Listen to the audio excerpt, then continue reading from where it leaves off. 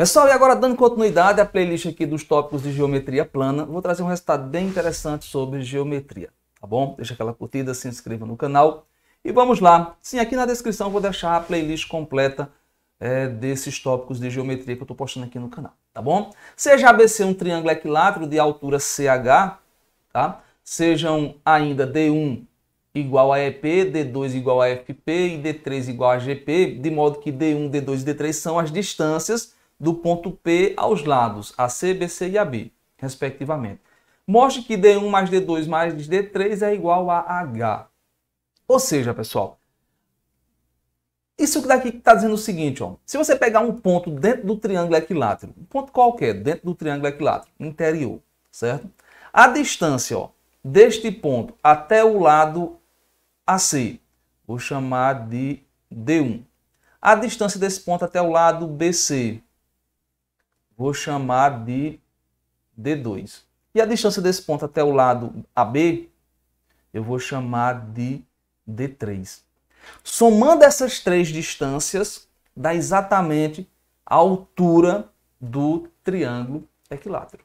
E é um resultado bem simples de ser demonstrado da seguinte maneira. Preste atenção. Somando essas três distâncias, dá exatamente a altura do triângulo equilátero. Presta só atenção como a demonstração é simples. Vamos fazer ela usando a ideia de área, tá? Ó, pega esse triângulo aqui, APC. Pega o triângulo APC. Me diz uma coisa, quem é a área do triângulo APC? APC. É a base, como esse triângulo ele é um triângulo equilátero, a base é L. Vou chamar aqui o lado dele é L, né? Ó. Portanto, a base desse triângulozinho APC também vai ser L, né? Lógico que a base relativa à altura D1, porque veja que D1 é a altura desse triângulo que eu estou desenhando aqui. Percebe isso? Então vai ser L, que é a base, vezes a altura, que é D1, tudo isso daqui sobre 2. Se você olhar agora para esse outro triângulo, ó, olha para o triângulo BPC. Qual é a área? Qual é a área do triângulo BPC? Bom, BC é a base. BC é a base. Também mede L, porque o triângulo é equilátero. A altura relativa a BC é exatamente D2. Então vai ser L vezes D2 sobre 2. Base vezes altura sobre 2. E lógico que você agora também já pegou a ideia aqui para a área de APB, né? A área de APB vai ser quem? Vai ser a base, que logicamente também é L, né? A base aqui, ó, base, vezes a altura, que é D3, L vezes D3 sobre 2. E agora, o pulo do gato. Ó.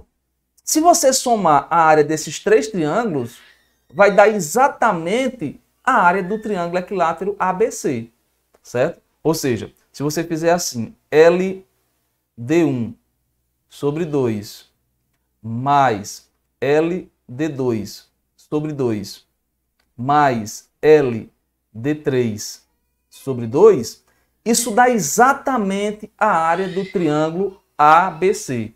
Mas quem é a área do triângulo ABC? É a base, ou seja, L, né? L, vezes a altura, no caso aqui é H, né? Essa altura é H, foi definida aqui, ó. Cadê, cadê aqui, ó? CH mede H, né? Sobre 2. Então vai ser L vezes H sobre 2. Lógico que a gente pode dividir tudo por L sobre 2, ó. Então vai cortar L sobre 2, com L sobre 2, com L sobre 2, com L sobre 2. E finalmente chegou ao que a gente quer, ó. D1 mais D2 mais D3 dá exatamente H. Ou seja, a soma das distâncias deste ponto aos lados vai dar exatamente a altura do triângulo equilátero. A soma das distâncias dá exatamente o comprimento da altura. Beleza? Então espero que tenham gostado. Deixem aquela curtida, se inscrevam no canal e fica o convite para você assistir as outras videoaulas com o assunto de geometria plana. Tópicos de geometria tá bem interessante. Tchau, tchau e até a próxima.